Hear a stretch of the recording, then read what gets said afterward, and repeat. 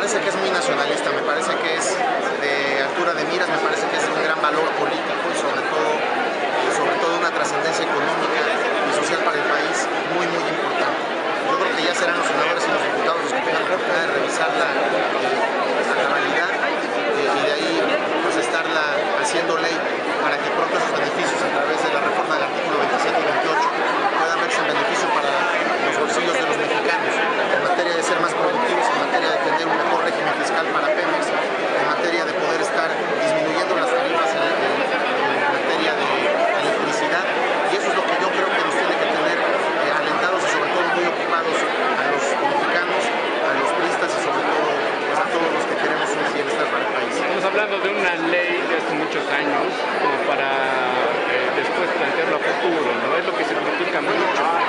Hay que dar pasos urgentes y me parece que es la gran aportación de Enrique Peña Nieto con esta iniciativa.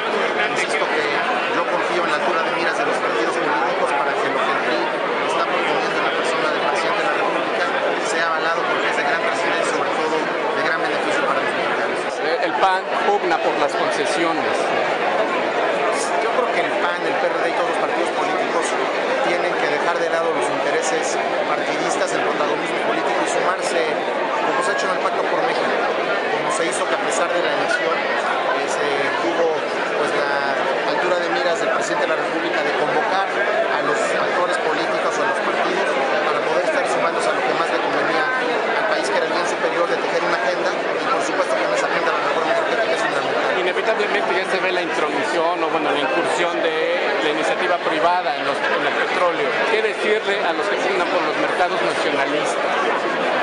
Me parece que México forma parte de un mundo global en el que nos tenemos que abrir a los mercados y sobre todo cuidando la soberanía, cuidando nuestros productos como es el petróleo, pero también abriéndonos a la realidad financiera que vive el país. Y sobre todo estadounidense, petróleos mexicanos.